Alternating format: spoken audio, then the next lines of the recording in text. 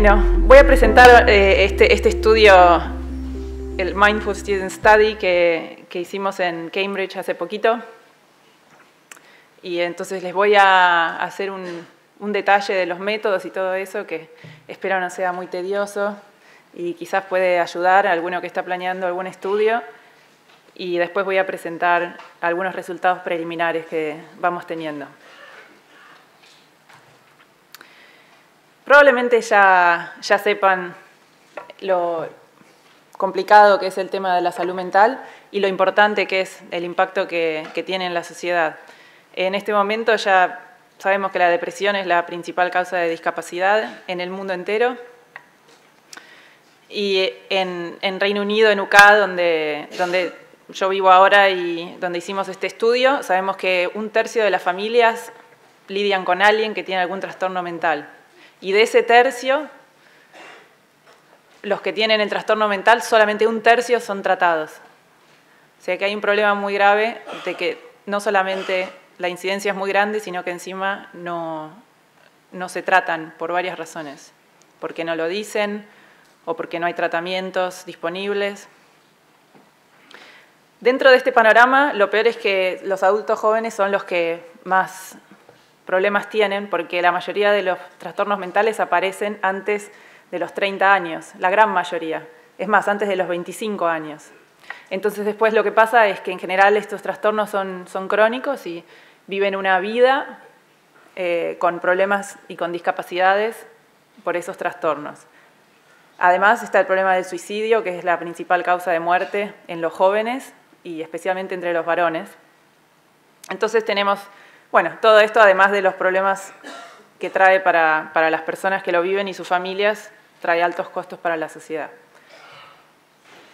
En términos de lo que pasa con los estudiantes universitarios, es interesante que cuando entran a la universidad, estas son estadísticas también de, Inglaterra, cuando entran a la universidad, eh, su salud mental es un poco mejor que los adultos jóvenes más o menos de su misma edad, pero que no están en la universidad. Ahora, cuando llegan, esto, lo, ven más o menos acá, cuando entran, ya cuando llegan a su segundo año, esto sería su grado de deterioro mental o de estrés. Eh, ya esto que ven acá arriba, este pico que ven acá arriba, es mayor que los chicos de su misma edad que no están estudiando en la universidad. O sea que algo está pasando en las universidades, por lo menos de allá, pero esto es un patrón que se ve en otros países desarrollados que, los chicos sienten un, grado de estrés importante y sabemos que los asuntos académicos son los que más presionan, al menos en, Reino Unido, pero también hay asuntos financieros y hay un montón de otros temas que preocupan a, los chicos. Bueno, el, el, tema de la brecha de tratamiento es todavía peor, con un 5% recibiendo tratamiento, a pesar de que las universidades tienen un compromiso de mantener y de cuidar por la salud de sus estudiantes todo esto impacta en la Universidad de Cambridge, que va percibiendo en los últimos años que los, estudiantes tienen una, mayor demanda del servicio de atención psicológica. La universidad tiene uno de los servicios de atención psicológica más grandes del país. Realmente tienen, eh, un montón de, oferta y de, psicólogos disponibles, pero aún así eh, tienen lista de espera para los tratamientos, especialmente durante la época de exámenes. Hay cada vez más estudiantes que interrumpen sus estudios y que piden rendir los exámenes en circunstancias especiales. Esto es que les den más tiempo que les den una habitación para ellos solos, por ejemplo, porque no pueden tolerar este, eh, el estrés que se contagia en una habitación común, en una sala como esta, en donde todos están rindiendo exámenes, por ejemplo. Y esos aumentos son, son increíbles, como esto del 44% de 2013 a 2014 y si bien la participación en las universidades es cada vez más grande, y esto también es un fenómeno del mundo entero, cada vez más y más jóvenes, seguro lo ven acá en España también, van a la universidad. Entonces las universidades van teniendo más gente y es lógico que haya más demanda, pero la, demanda que hay es superior al crecimiento de alumnos. ¿sí? O sea que el porcentaje de gente que demanda estas cosas es superior, no solamente el número. Bueno, todo esto lleva a las autoridades de, Cambridge, o sea, cuando digo las autoridades, por ejemplo, es eh, la, jefa del Servicio de Atención Psicológica, la sección de Asuntos Académicos de la universidad. O sea, son, estas, em, estas, estas partes de, la universidad que son transversales a, todas las, a todos los departamentos, por ejemplo, ¿no? que realmente están bastante preocupados, están viendo una serie de medidas y lo que para ellos, ellos pensaban que lo que sería ideal sería tener una intervención preventiva, que además se la puedan ofrecer en grupos a los chicos y que pueda ser costo efectiva para ellos también. Entonces ya ven a dónde, para dónde voy. Eh, lo loco es, ellos la verdad es que no, no tenían mucha idea de mindfulness o, de nada muy relacionado, o sea, ni de compasión ni de mindfulness, simplemente, bueno, esta es gente preocupada por sus alumnos y lo que sí notaron es que en algunos cursitos muy chiquitos que había ofrecido el servicio de atención psicológica, eh, como para tratar de prevenir el estrés y eso, por ejemplo, algún curso de relajación o algún otro curso, no había ido mucha gente, los chicos no se habían enganchado mucho, pero cuando ofrecieron algún cursito de mindfulness había lista de espera. Entonces, eso los sorprendió bastante y por eso decidieron que podían hacer un piloto un poco más grande, de ofrecer mindfulness a una proporción mayor y algo más sistemático que se repitiera todos los años y ver qué pasaba con eso. Entonces así es como surgió este estudio que fue la universidad misma juntando fondos para armar un piloto. Ese piloto incluía tres cosas, bueno, dos cosas. Una es eh, pagarle a una profesora de mindfulness por tres años para que esté prácticamente full time dando de clase de mindfulness a los chicos y después pagándole a gente como yo que evalúe ese curso a ver si era efectivo. O sea, esto que no sé si algunos estaban ayer que charlábamos de que una cosa es que algo sea eficaz y otra cosa es que sea efectivo. O sea, eficaz es en, en condiciones ideales y otra cosa es efectivo en la vida real y bueno, entonces ellos querían saber si, este, este curso que, que con todo, con el formato con el que ellos pensaban ofrecer y todo, podía funcionar y ya después si el estudio estaba positivo, iban a considerar seriamente eh, financiarlo más a largo plazo, o sea, financiar sobre todo el puesto de, la profesora de mindfulness. Bueno, como para los chicos el, problema principal es, el, el, tema de cómo enfrentar sus estudios, sea, acá también hay algo importante que es la población de la Universidad de Cambridge, es una población un poco especial dentro de lo que son las universidades porque es muy difícil entrar a la universidad, entonces los chicos que entran son los que tienen, los que en general son los mejores de su clase, eh, de, todas las escuelas secundarias del país, son los que logran entrar a Cambridge, a Oxford. Entonces están acostumbrados a ser los mejores. Cuando entra a la universidad, ¿qué pasa? Todos los demás también eran los mejores. Entonces, en realidad, se transforman en promedio, en, chicos normales de la universidad, y eso a veces les impacta muchísimo en su, en su, eh, en su confianza en sí mismos y, en cómo se valoran. Em, bueno, todo esto llevó a que, bueno, dijimos, lo que más realmente necesitan estos chicos es soporte en el momento en el que están preparando los exámenes. Entonces ahí es donde decidimos hacer la medición principal, pero los cursos de mindfulness no son durante los exámenes, ya van a ver, son bastante antes porque mientras los chicos estos están estudiando para los exámenes son súper aplicados y, solamente viven para estudiar para los exámenes. Y además otra cosa interesante de la universidad es que los exámenes para los chicos que están estudiando carreras de grado suceden una vez por año nada más. O sea que tienen exámenes en la época entre mayo y junio y ahí los evalúan, evalúan todos los conocimientos que aprendieron durante el año y ese es la única, el único momento de evaluación. Entonces la presión en esos dos meses es pero terrible y muchas veces tienen exámenes eh, uno atrás del otro, a veces tiene, pueden tener legalmente hasta dos en el mismo día durante esas semanas. Bueno, acá tienen el... Yo voy a contar detalles metodológicos, pero esto es un protocolo del estudio que publicamos Así que ahí tienen más detalle también.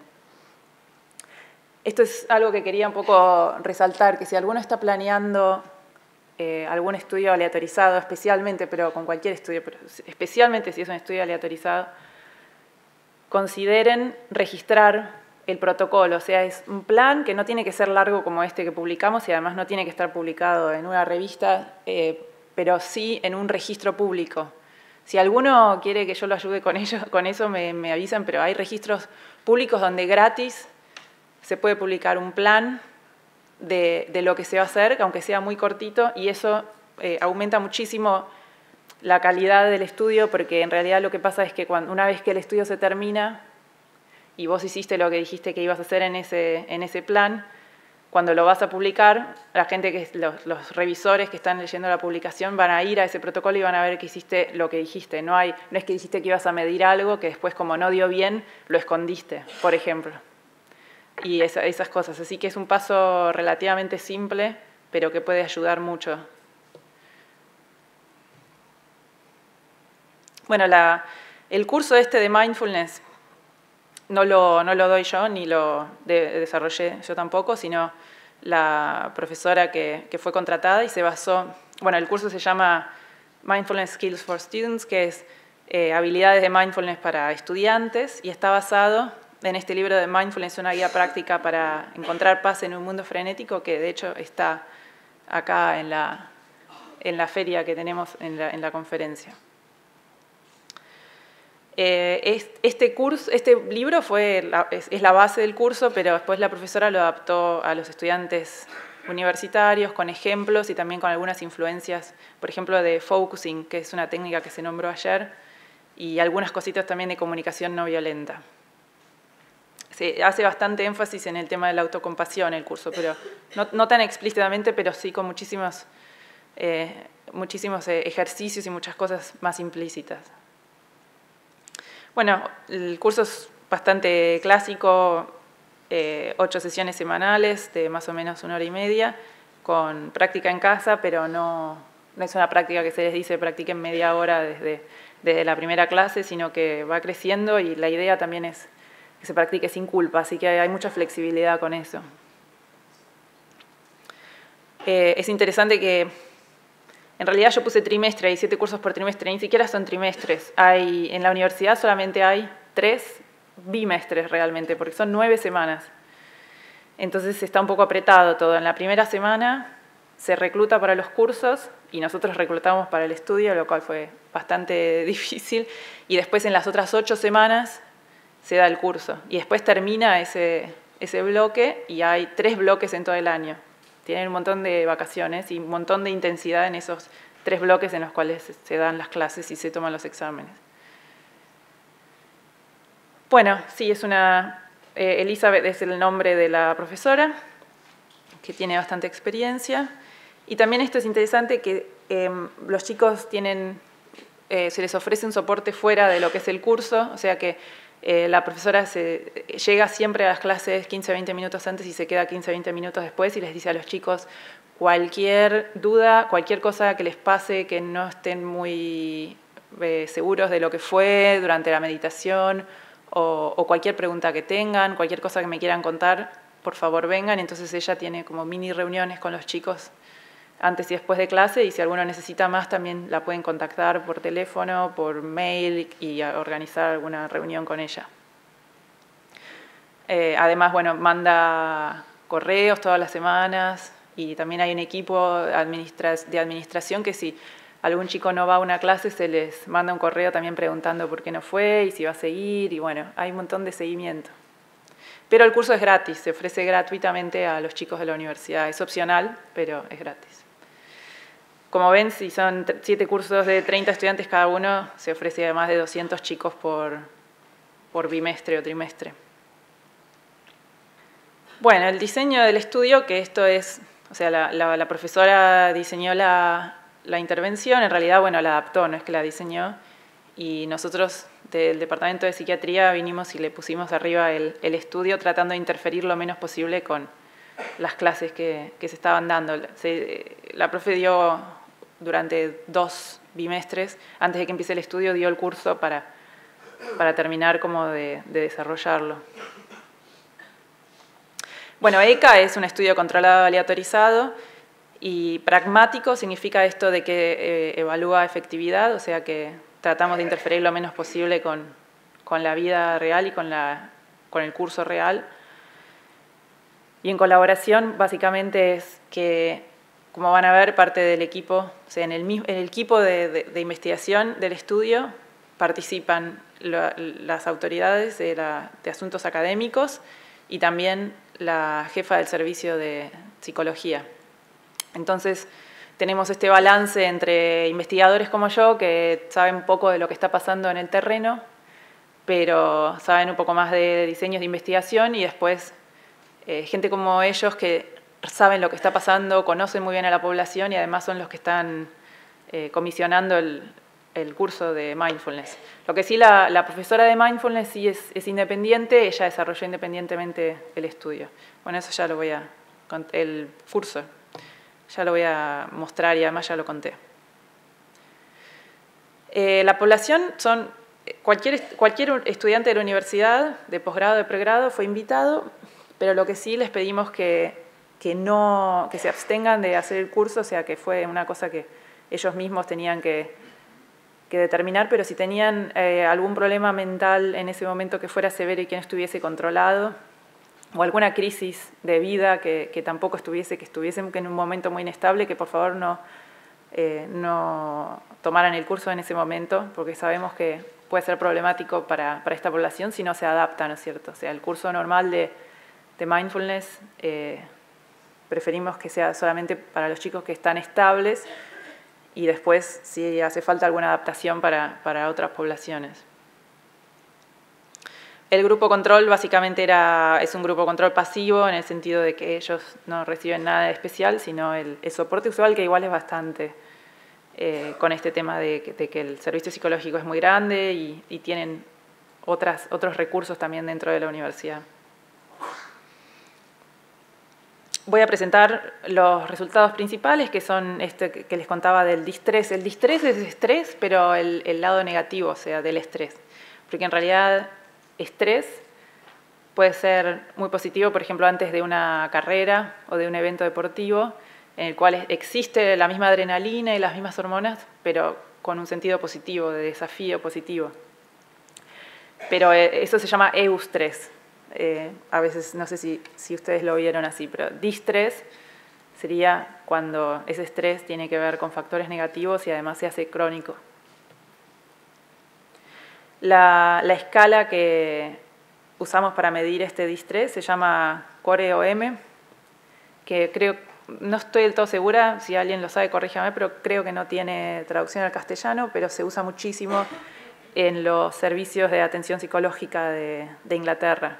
Por eso, en realidad, ni siquiera, o sea, esto fue una elección conjunta entre entre los investigadores y, la jefa del servicio de counseling que quería algo que ella pudiera entender, una escala que ella pudiera entender. Y como esto es lo que usan ellos en todos los servicios de psicología de allá, entonces eh, eso. Y bueno, lo que tiene también es que tiene buenas propiedades psicométricas. Es una escala de 34 ítems y mide bastantes aspectos de lo que es el distrés. Una escala un poquito más orientada hacia la psicología positiva, que mide bienestar psicológico, es la escala de, Edimburgo, que creo, que tampoco estoy segura, pero creo que sí tiene traducción al castellano. Hay muchísimos estudios que la usaron y tiene también buenas propiedades psicométricas, al menos con la población de Inglaterra seguro, y este, tiene 14 ítems. Otra cosa que me gustaría presentar es el tema de los efectos adversos, que los medimos activamente, no solamente esperamos a que los chicos vinieran y nos dijeran si les pasó algo.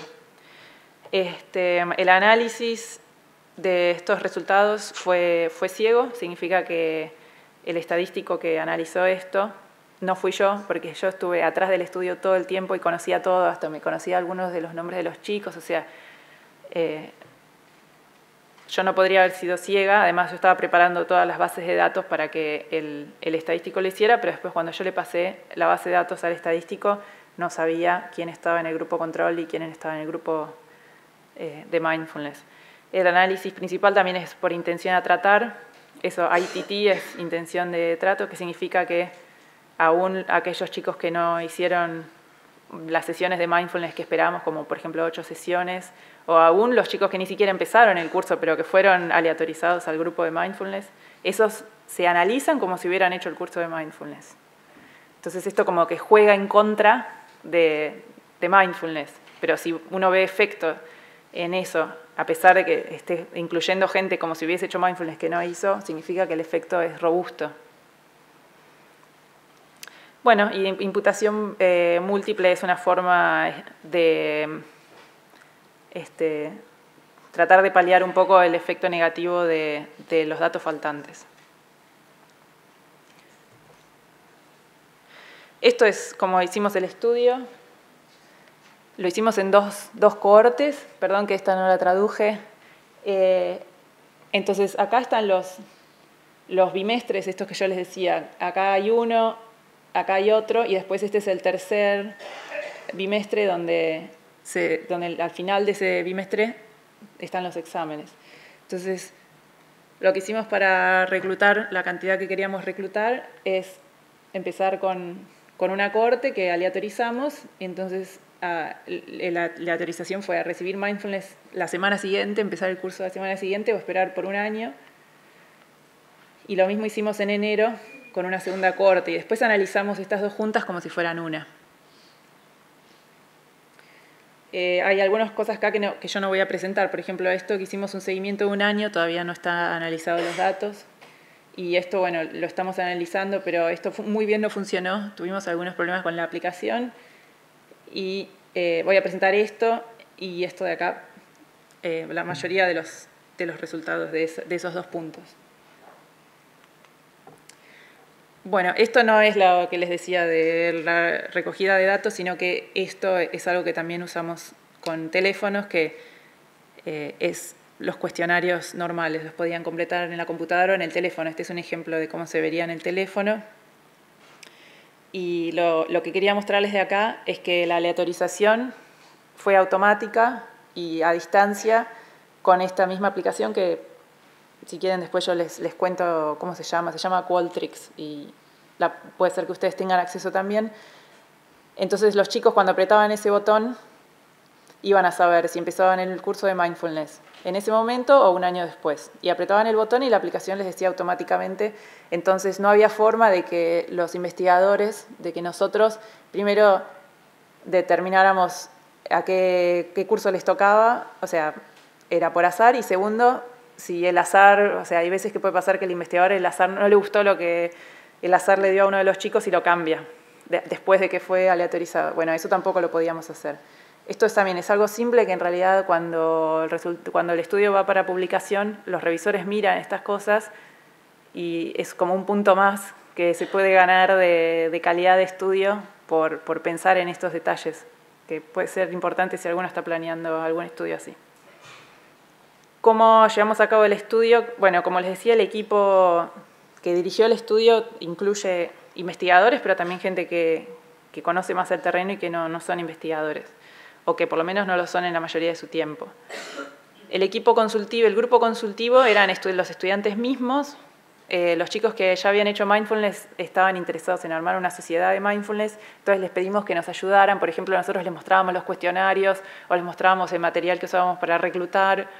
Eh, y después también lo que usamos para, o sea, les pagamos un poquito de plata a los chicos en agradecimiento por participar y eso también se, lo contamos a, esta, a este grupo, entonces ellos nos daban el feedback a ver si les parecía una buena idea desde el punto de vista de ellos, porque a veces lo que los investigadores piensan que puede ser bueno, después vas a los chicos y te dicen, no, pero esto a nosotros no, no nos interesa o está mal o lo que sea, entonces eso también es una forma de tratar de evitar problemas.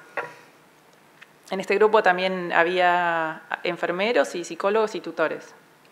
Teníamos también un comité independiente de monitoreo de datos, esto es básicamente otros investigadores que no tienen nada que ver con el estudio y que, a los cuales les teníamos que rendir cuentas cada dos o tres meses mostrándoles cómo iba el reclutamiento y si había algún problema con efectos adversos y todo. Entonces ellos tenían potencialmente el poder de decir, no, este estudio no está yendo bien, hay algún problema, se, para el estudio o, o, hacernos cambiar de decisión. Por suerte no, no tuvo que pasar nada de eso, pero es un mecanismo de salvaguarda. Em, y bueno, lo que les contaba de la profesora desarrollando la, intervención.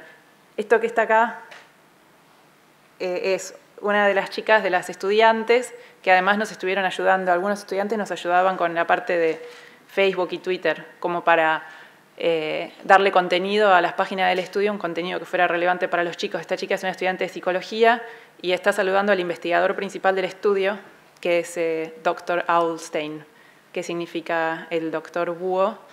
Bueno, es un juego de palabras que en castellano mucho sentido no tiene, pero eh, es la mascota del estudio básicamente, que llevaba adelante todas las cuentas de Twitter y de Facebook.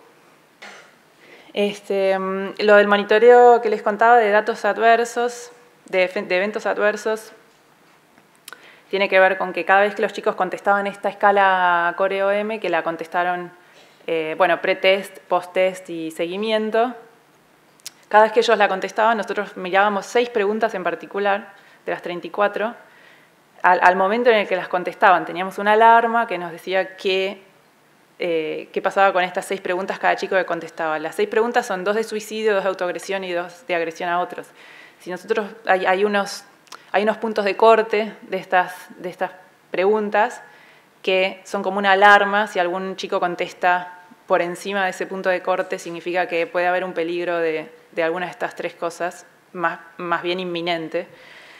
Entonces teníamos un sistema de alarma que nos avisaba si alguno contestaba por encima de ese punto de corte y en ese caso yo consultaba con la jefa del servicio psicológico y a ver si había que contactar a ese chico por alguna razón para evitar algún, alguna de, estos, de estas consecuencias. Eso es independientemente de mindfulness, o sea, esto también se hacía para el grupo control. Lo que hicimos después fue comparar si en el grupo control o en el de mindfulness hubo más de estas alarmas. Por suerte no pasó nada, pero en algunos casos sí tuvimos que contactar a los chicos y ver qué estaba pasando. No hubo ninguna consecuencia grave, digamos. Em, bueno, entonces, esto, estas, estos, estas alarmas que teníamos, después íbamos al comité independiente que les contaba y les mostrábamos el de monitoreo de datos y ellos después potencialmente tenían la facultad de decir, bueno, suponemos que esto, esta alarma estuvo relacionada con mindfulness, porque nosotros teníamos que averiguar por qué, por qué se sintieron así y eso. Eh, y ellos, y entonces la gente está independiente sin ningún conflicto de interés con eso, podían decir, no, mira, a mí me parece que mindfulness tuvo que ver con, con esto que, que, le pasó a este chico. Por otro lado, también otra forma de recolectar algún evento adverso fue con la profesora misma o nosotros mismos que les, les decíamos a los chicos que, que nos contacten directamente si les pasaba algo, si tenían alguna inquietud. Entonces teníamos esto que es más pasivo, esperar que los chicos nos contesten y también el monitoreo activo con las subescalas.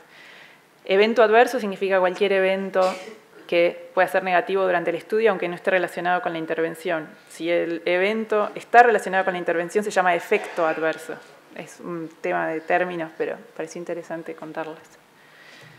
Acá está nuestra mascota reclutando en una de las ferias de inicio de año académico y logró reclutar. La verdad es que el mayor, la mayor ayuda para reclutar a los 600 chicos fue el mismo servicio de psicología porque ellos le mandaban eh, un correo al inicio de, estos momentos de reclutamiento, que en realidad es lo que hacen siempre para el curso de mindfulness, le mandan un correo a los eh, tutores de, la universidad y los tutores de la universidad, bueno, los que quieren, pero en general lo hacen, lo reenvían a sus alumnos.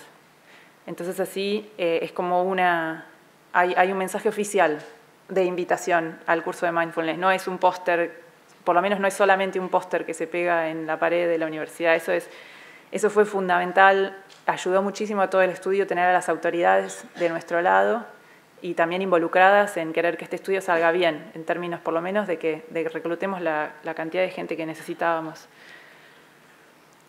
Bueno, de esos 616, 300 em, y 300 para cada eh, brazo del estudio. Y después, esto es un dato de, las sesiones de mindfulness, el 60% hizo cuatro más sesiones, o sea, el 40% no hizo ni cuatro sesiones, básicamente.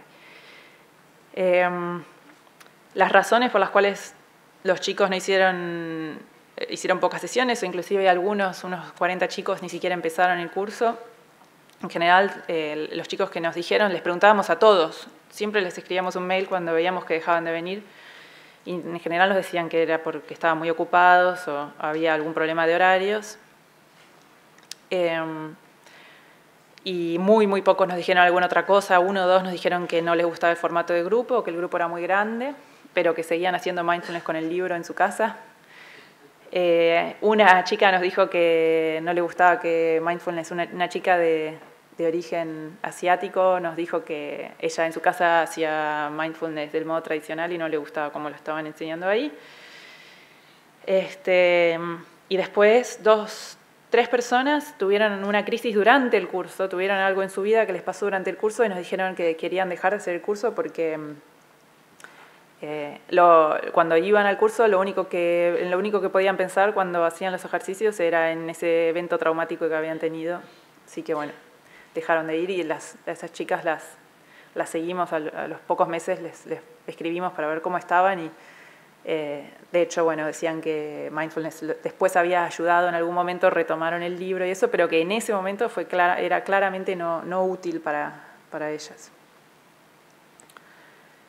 Este, bueno, el 83%, más o menos el 80% completó la encuesta después de terminar el curso y el 70% durante la época de exámenes. Fue muy difícil reclutar em, eh, que los chicos completaran, hacer que los chicos completaran la encuesta durante la época de exámenes. Era probablemente la última cosa en la lista de prioridades que tenían, a pesar de que les ofrecimos, para completar la encuesta después del curso de Mindfulness, les ofrecimos tres libras, que sería, no sé, tres, euros con 50, cuatro euros, algo así, y cinco libras para completarla en la época de exámenes. Ahora, también lo que hicimos fue ofrecerles a los chicos la posibilidad de donar esa plata. O sea, que les decíamos, te, ofrecemos un voucher de, Amazon por tres libras, pero eh, eso lo puedes donar a una entidad de caridad que ofrece servicio psicológico a chicos vulnerables en la misma área. Y la verdad es que un montón de chicos donaron y pudimos donar 2.500 libras a, esta ONG, gracias a esto. Y además medimos eso, o sea que medimos cuántos chicos donaban eh, entre los que hacían mindfulness y cuántos chicos donaban entre los que no hacían mindfulness. O sea que es un outcome también, es un resultado.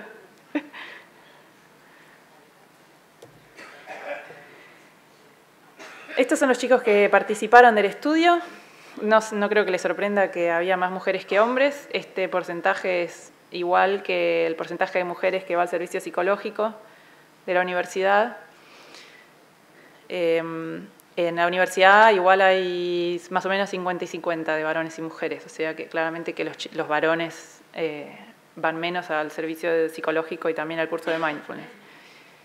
Bueno, la mayoría eran, eran bastante jóvenes y un, dato interesante acá es el origen étnico, eh, que las minorías étnicas, étnicas representaron un, 70 un 30%, pero además un 20% eran eh, de origen o de, Medio Oriente o del Lejano Oriente, el 20% de, de los chicos. Y eso es muy alto para un servicio que viene de, así, del lado de la psicología.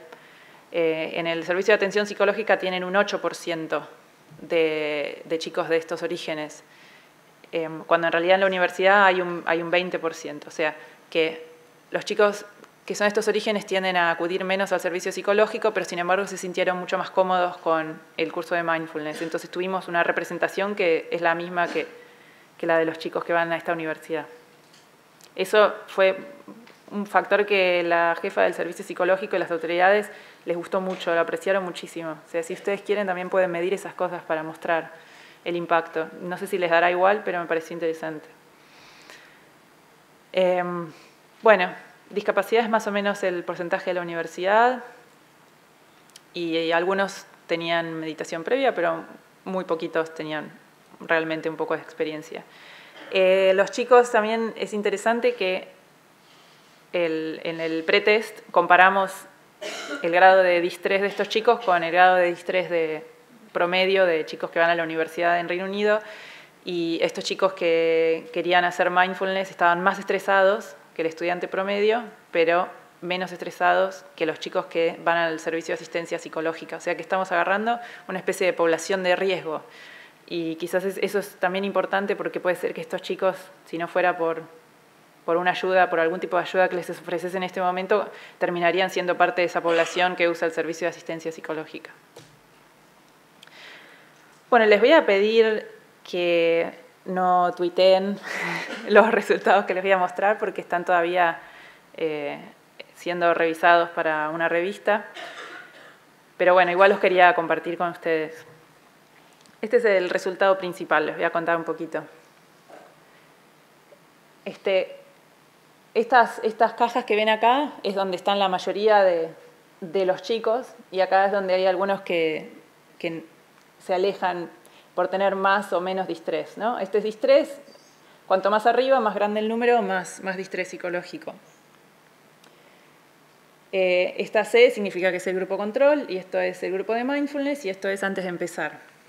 Esta línea que está acá roja representa esta línea negra que está en cada uno de estos, que es la mediana, que es parecido al promedio y que como ven era la misma antes de empezar en cada grupo. Eso es por el, efecto de la aleatorización, que hace que los dos grupos sean muy comparables, sobre todo si, si aleatorizas más de 100 personas este, que sean muy comparables en todo, en las variables que ves, como esta, que es la que vemos, como en las variables que no ves, en las variables que no medís, también tenés cierto grado de confianza que los grupos son comparables, por eso es tan importante aleatorizar. Bueno, entonces ven que esto lo, mantuve porque me pareció muy interesante eh, cómo se ve el efecto a partir de esta línea. Entonces, eh, esto es después de terminar el curso, el grupo control bueno, está más o menos igual, pero el grupo de mindfulness tiene menos estrés y esta diferencia es significativa, altamente significativa. Y después durante la época de exámenes la diferencia se profundiza todavía más porque los chicos que hicieron mindfulness mantuvieron esa reducción bastante y los chicos del grupo control el estrés se disparó para arriba. Esta, esto también es altamente significativa, este es el valor de, este análisis, digamos. Y esto sería el tamaño del efecto eh, estandarizado, que es más o menos un efecto moderado, este, entre pequeño y moderado, más cerca de moderado.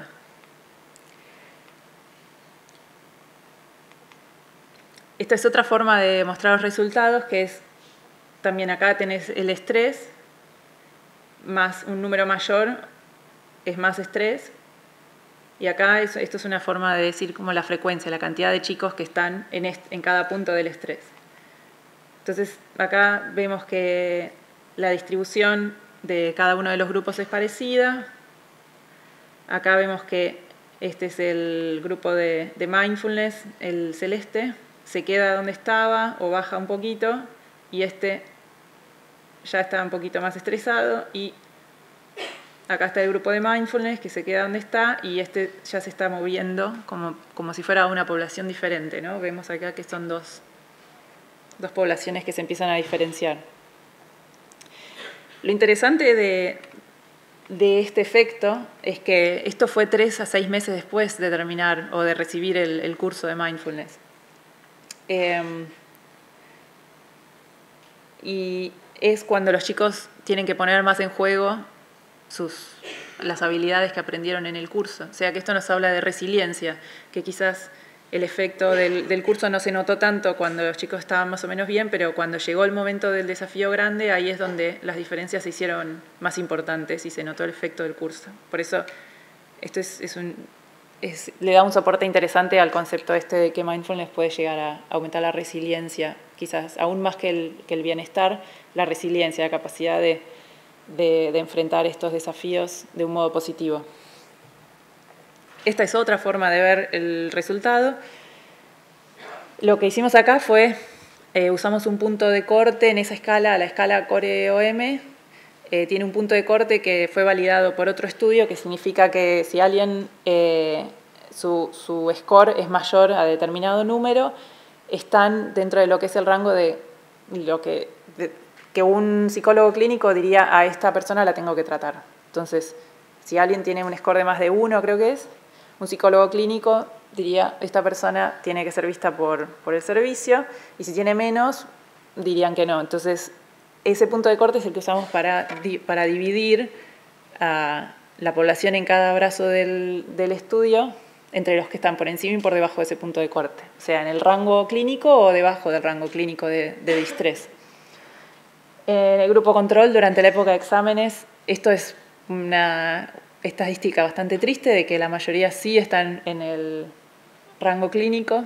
Esto es lo que, las, las esto es lo que realmente preocupa a las autoridades, que tantos chicos estén, estén en ese rango, cuando en realidad son chicos que la verdad es que lo tienen todo para, para tener éxito en la universidad y en la vida, pero se preocupan tanto por estar realmente por ser los mejores, los mejores, que esto es lo que termina pasando. Tienen mucha presión también de sus familias, no es solamente de, de ellos. Este, y esto es lo que logramos con el curso, que igual seguimos teniendo un 37% en el rango clínico, pero como ven bajó bastante y este gráfico también es uno que a las autoridades de la universidad les, les pareció como de, como de alto impacto. Y otra forma de decir lo mismo es que por cada 30 estudiantes que hacen el curso de mindfulness, evitamos que 5 caigan en ese rango. Esto es eh, lo mismo, pero con la escala de bienestar, que vemos los mismos resultados, un poquitito menos eh, sorprendentes, pero lo mismo y también eh, altamente significativos. Otros resultados que tuvimos relacionados con esto es que el, efecto este en el distrés fue mayor en los estudiantes que tuvieron exámenes, porque también incluimos como les dije antes, estudiantes de posgrado que no tenían exámenes en ese momento. Entonces vimos, bueno, cuál es el efecto entre, los que tenían exámenes y el efecto de nuevo, abonando la teoría de la resiliencia, eh, muestra que entre los que tenían esos exámenes eh, el efecto de mindfulness fue mayor. Y también que tuvimos una tendencia que es mayor el efecto en mujeres, y esto se vio en algunos estudios previamente. Y no hubo ningún efecto adverso significativo, al menos con Em, con todas estas estructuras de soporte que, que, tenían los chicos, excluyendo a los chicos que, que tenían alguna crisis que no estaba siendo manejada, o sea, esos chicos tenían el servicio de asistencia psicológica directamente para ir. Y, y aún a pesar de haber monitoreado activamente, no hemos encontrado estos efectos. Por lo menos no en términos de suicidio, autolesión y lesión a otros. O sea, puede ser que haya algunos efectos eh, más sutiles, pero en términos por lo menos así de cosas de alto impacto, no. Entonces, bueno, esta, esta fue nuestra conclusión de, del estudio. Eh, estamos analizando varios otros outcomes. Por ejemplo, les puedo adelantar que las donaciones fueron significativamente mayores en el grupo de mindfulness, aunque bueno, hay hay cosas que lo pueden explicar que no son solamente altruismo. O sea, los chicos en el grupo control no, no, se les ofreció nada, más se les ofreció plata por los cuestionarios, pero no un curso. Entonces quizás se sintieron más autorizados a quedarse con la plata, por ejemplo. Pero bueno, fue, fue interesante ver eso. Este es el equipo. Eh, es lo que les contaba. Realmente esta gente, eh, más allá, los únicos que sabemos algo de mindfulness y que tenemos una práctica, somos la profesora de mindfulness, la mascota y yo. El resto no sabe nada de mindfulness, lo cual fue una experiencia muy, muy enriquecedora y también eh, nos da más confianza en los resultados saber que, que, digamos, mucha gente de la que trabajó acá se sorprendieron ellos mismos porque ellos mismos eran escépticos, pero tenían la cabeza suficientemente abierta como para considerar la posibilidad de que, de que sí ayudara. Así que bueno, eso es todo.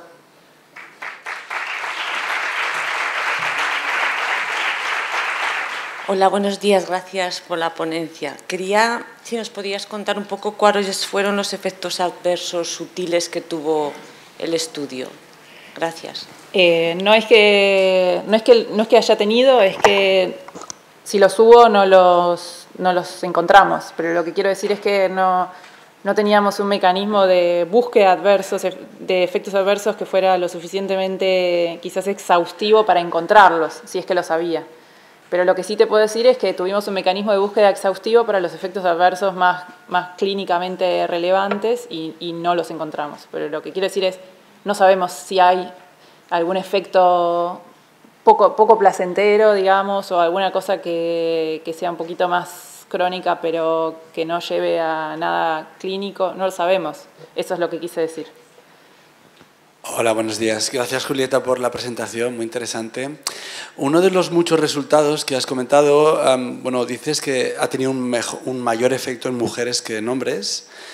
¿Podríamos decir que mindfulness es más interesante todavía para las mujeres o podría esto deberse al hecho de que hubiese más mujeres en, esta, en este estudio en concreto? Sí, es una muy buena pregunta. Podría deberse a que en general hay más mujeres y eso te da eh, más potencia para, para, ver el efecto en ese grupo, eh, pero, pero también podrían existir razones culturales, por ejemplo, los, los, varones en general se enganchan menos con las terapias psicológicas. Eh, no, no, este estudio no, es, no, está como preparado para contestar esa pregunta, para confirmar la respuesta, pero esto es solo, solo algo que que es una tendencia que vimos, ni siquiera eh, fue altamente significativo nada y tiene que ser estudiado un poco más. Estamos planeando alguna cosa para ver si lo podemos estudiar un poco más. Gracias. De nada. Hola, buenos días. Eh, ah, sí. Buenos días. En primer lugar, eh, me ha gustado muchísimo el tema del registro del plan. Yo lo creo absolutamente necesario. Muchas gracias. Y en segundo lugar, hay una cosa que no acabo de entender, es la aplicación de la teorización. Me ha parecido una grandísima idea, pero no me queda claro si cuando el chico pulsa el botón y se le asigna aleatoriamente el grupo control o tratamiento, eh, tiene algún conocimiento de que eh, se, está, se le va a hacer algún tipo de curso de mindfulness o no tiene ningún tipo de información. Eso es lo que no me acaba de Sí, Porque la crítica muchas veces es que quién se apunta a MyFurnace. Sí, no, está muy bien. Está muy bien la pregunta y ese fue un problema, un error mío de no haber explicado eso en detalle. En realidad, todos los chicos lo primero que hacían era, bueno, en general recibían este mail de sus, de sus tutores o veían el estudio, eso lo llevaba a un sitio web en donde se les explicaba en detalle todo el estudio, tenían que decir que habían leído las, características del estudio y tenían un consentimiento informado electrónico, pero un consentimiento informado de que sabían que estaban entrando en un estudio aleatorizado, se explicaba todos los detalles y que después de eso venía, una vez que consentían participar, completaban los cuestionarios de, de pretest, que es muy importante siempre que puedan que los chicos completen los cuestionarios de pretest antes de ser aleatorizados, no después, antes de ser aleatorizados, porque la aleatorización misma puede influir en lo que contestan. Entonces contestaron los cuestionarios y después les apareció esa pantalla que, que vieron. Eh, hola Julieta, muchas mm. gracias por la presentación. Creo que es una suerte poder escuchar investigaciones así aquí y sobre todo que seas latina ¿no? y que estés en, Cambridge. Em, dos preguntas. Una corta, es un waiting list, entiendo. O sea que, que si no les toca y quieren hacerlo no se enfadan, sino que van a poder hacerlo después. Sí. Ya. Y... Hay un pequeño detalle ahí, pero si quieres te cuento. Bueno, que algunos chicos estaban en el último año de la universidad, entonces lamentablemente a ellos no les podíamos ofrecer el curso del año siguiente. Y eso fue una limitación muy grande, o sea, ya de por sí tener un waiting list es una limitación del estudio y encima tener esto, que algunos ni siquiera tenían eso, eh, no fue ideal, pero bueno, era la elección de excluirlos del todo, con lo cual se iban a enojar más. Esto lo, se lo planteamos a los estudiantes del, grupo consultivo y nos dijeron, no, incluyanlos igual, por lo menos tienen la elección de hacerlo, porque si no, se van a enojar porque van a decir que por qué excluyen a los chicos del último año. Y además, otra cosa que quiero, quiero agregar ahí es esta cosa de no interferir con cómo se hace usualmente. Nosotros, por ejemplo, el, curso usual de Mindfulness va a incluir a los chicos del último año. Entonces, nosotros, esa era también una razón por la cual mejor no tocar eso, mejor dejarlo como está porque es lo que en definitiva va a pasar en la vida real, que van a incluir a los chicos del último año. Pero es verdad que, que, eso produjo un poquito un... Seguramente los chicos del último año estaban más, em, más molestos si recibían el grupo control. Y de hecho, mucha de la gente que abandonó el... Bueno, no mucha, pero un por sabemos que entre los que abandonaron el estudio había más, más gente del último año. Ya. Y la otra pregunta es, igual que eh, cuando se hacen estudios con poblaciones en riesgo, se dice específicamente, este estudio es con población en riesgo, este tipo de población es una población muy especial. Es decir, que no se, en determinadas variables ¿no? están en percentiles muy altos. Entonces, cuando se publica, por ejemplo, este estudio, se hace especial énfasis en la población que es, porque no sé hasta qué punto puede ser representativa de los estudiantes universitarios en el mundo, como para decir que mindfulness puede servir en la universidad. Si estamos hablando de efectividad, justamente, eh, es algo como que creo que es muy importante. Pasaba lo mismo con MBCT, que recuerdo que Ausías decía que no era lo mismo hacerlo en un barrio marginal de Tenerife que hacerlo en Oxford, ¿no? que los resultados podían verse completamente eh, influidos por eso. Entonces, ¿se, hace énfasis en eso o, no? Sí, sí, totalmente, es así como vos decís, que es una población bastante especial y sí, lo, lo decimos, o sea, en la publicación dice que son estudiantes de Cambridge y todo, está todo está todo explicitado y también eh, está en la discusión también hacemos referencia a eso. Em, lo único que te puedo contestar un poco respecto a eso es que hubo varios otros estudios más chicos, pero hubo estudios aleatorizados en países desarrollados al menos, en universidades que mostraron resultados parecidos, con lo cual en realidad un poco esto nos da un poco más de confianza que al menos en, en, en universidades de países desarrollados esto puede llegar a, a ser verdad también, ¿no? En, esas poblaciones que son un poquito quizás diferentes que, Cambridge, pero quizás no tan diferentes. Ahora, en lo que es barrios más marginales y esas cosas y población general, ya yo no me animaría a extrapolar los resultados de este estudio. Y además que el curso en sí mismo está orientado a estudiantes universitarios. Hola, buenas, gracias. Eh, quería comentarte todo el tema, has hablado mucho del tema teórico, el tema del estudio, pero también está al otro lado del tema de toda la práctica que llevó a cabo la profesora, ¿no? Sí. Que vamos, eso, bueno, en mi caso, pues me parece muy interesante. Todo esto, ¿dónde lo podemos encontrar? Porque supongo que habrá toda una información, ¿no? De ello. Sí. Gracias. Eh, sí, exactamente. En la publicación, eh, bueno, en el protocolo ya hay más detalles, en lo que ya está publicado hay, hay más detalles de la intervención o sea, del curso y después en la publicación también va a haber, pero además de todo esto, en realidad hay un manual. El manual no lo estamos agregando a la publicación porque es, enorme, pero, bueno, enorme, digo, como para una publicación así, pero mm, si, me escribís un correo electrónico o algo, yo te lo mando, no hay ningún problema. Eh, podés pedirlo acá, podés eh, si quieres, después te doy mi correo. Bueno, muchas gracias.